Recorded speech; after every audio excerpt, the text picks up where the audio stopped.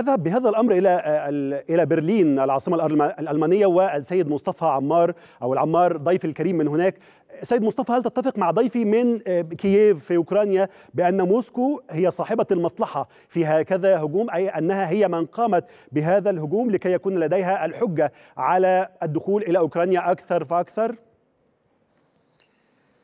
مساء الخير عليك وعلى المشاهدين الكرام وعلى الضيوف الكرام جميعا.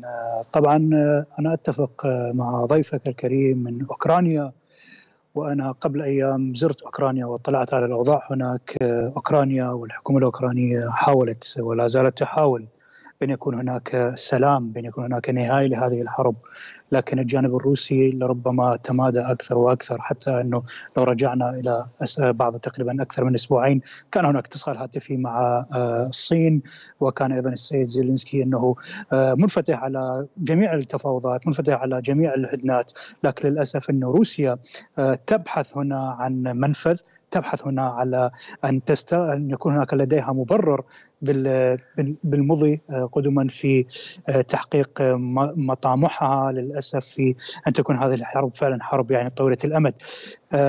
من المطلع على هذه الشؤون من الناحية الأمنية لو أخذنا بعض التكهنات ويجب علينا لا نتكهن لكن هناك بعض التكهنات هي مسموح لنا بالتكهن لأمور أمنية وليس هي أيضا مثل ما يقولون اتهام أطراف معينة لكن جاءت هذه الأشياء عندما صرحت جنوب أفريقيا وطلبت من بوتين لا لا يأتي إلى إلى جنوب أفريقيا لأنه سوف يتم القاء القبض عليه.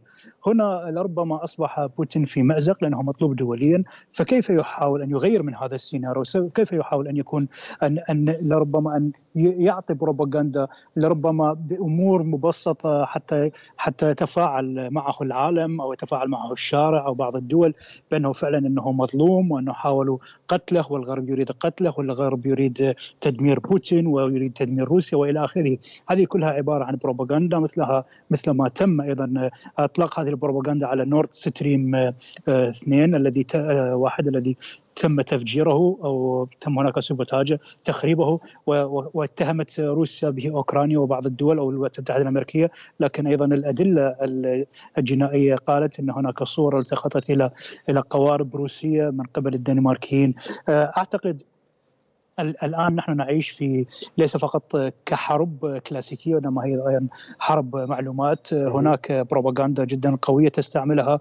روسيا في هذه الحرب. أنا زرت أوكرانيا وكنت هناك على أرض الواقع. التقيت مع الناس التقيت مع الشعب الأوكرانيين. لم يتمنوا هذه الحرب. روسيا هي من اختارت هذه الحرب.